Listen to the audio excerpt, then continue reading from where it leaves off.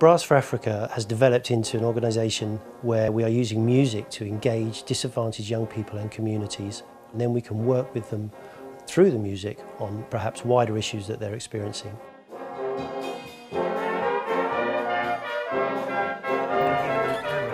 The opportunity came up to take Alison Balsom and Guy Barker to see the projects in Kampala. Alison, multi-award winning instrumentalist, an incredible educator herself. Guy, virtuoso jazz trumpeter and one of the most in-demand composers and arrangers today.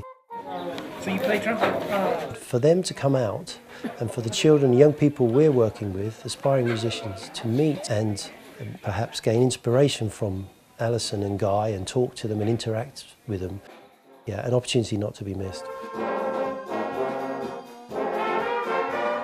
There's something about Brass for Africa where I just knew it was absolutely the right thing for me to help because the inclusiveness of playing brass instruments and the fact that this um, incredible charity has been set up in Africa, it would be crazy not to support.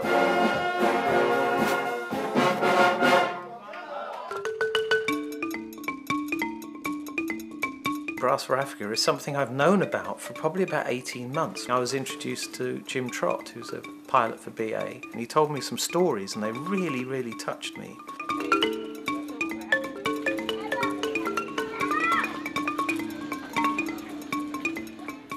Okay, you know, before before meeting Brass for Africa, life wasn't so easy because you know, on streets like you can get something to eat, they come and like grab it and run away. So you have you you cry, even though you cry, no one can care like about you.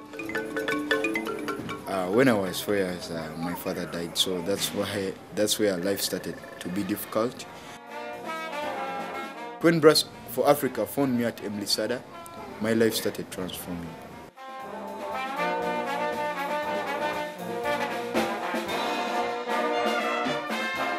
I never used to speak like to people who are important in my life, who can help me.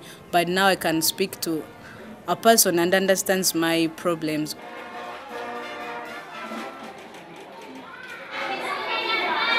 Two of the most important projects for us are in orphanage homes. In fact, they're more like poorhouses. The Good Shepherd Home and the Bethlehem Orphanage. We have disabled, both physically and mentally, but the music lessons and the inclusion of the music is the highlight of their week. Can I share with you?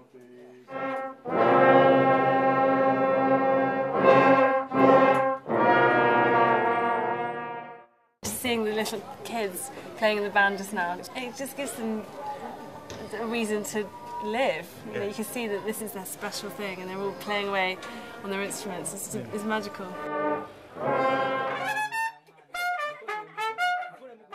All music, if it's if it's played correctly and played with your heart and soul, it communicates greater than any language and it can transform lives.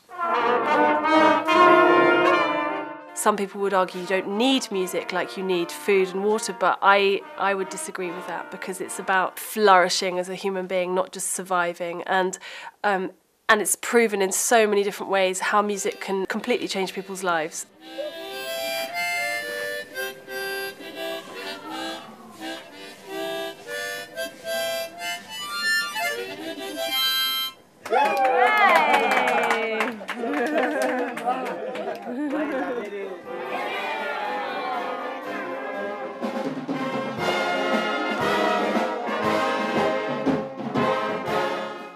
M-Lisada over the last 15, 16 years have developed the ability to work with children from disadvantaged backgrounds, street kids, orphans, and now have the skills to engage them. They know how to teach them in music and how to mentor them in life skills.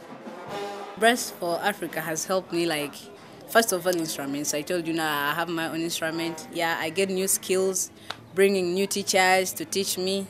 Yeah, and new important people like Alison is coming to meet me okay? Because this is what makes your sound. It's really important you take enough air. I'm so boring about air. I just, all, when I teach, I just talk about breathing for hours and hours. I try these ones.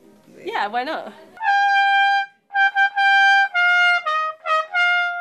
Yeah, that's really good.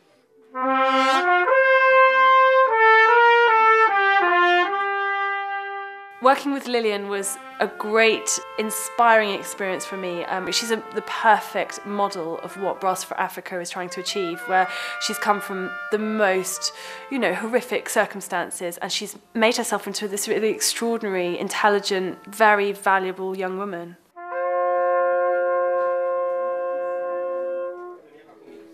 Beautiful.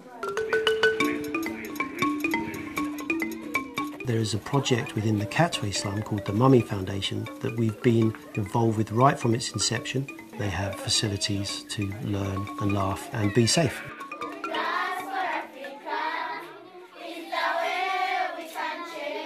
The Mummy Foundation is the most amazing organisation. I mean, they're in this tiny room, um, like sort of three three metres square. There's about 50 kids in there, but they're all really well behaved. They're all learning songs and poems and all sorts.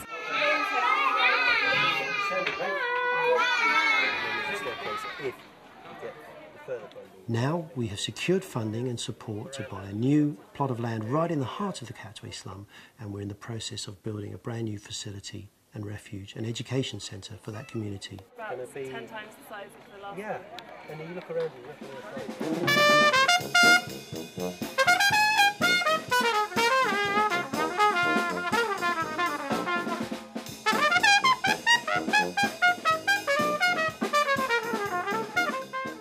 It was their enthusiasm, you know. Um, Ronald, for example, he just, you know, he wanted to blow that trombone straight.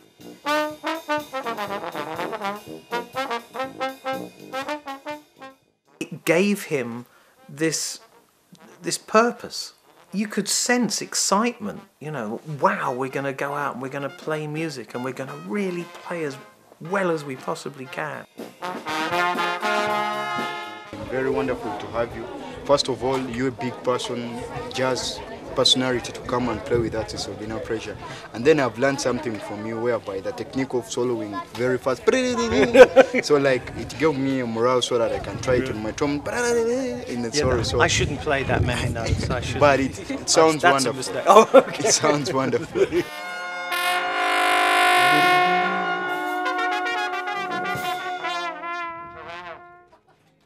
Plan at the end of the week is to perform right on the site of the brand new Mummy Foundation, soon to be uh, erected, and introduce that foundation and our musicians to the uh, community at large.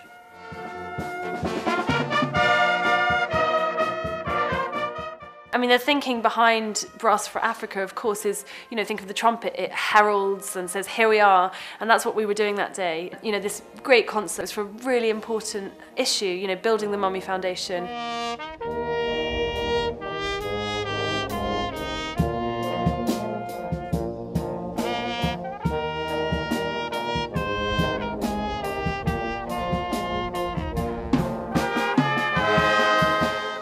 the music gives them this incredible sense of um, believing in themselves and seeing what they can do and giving them some self-confidence. And to see that almost day by day improving is it's a life force, it's vital.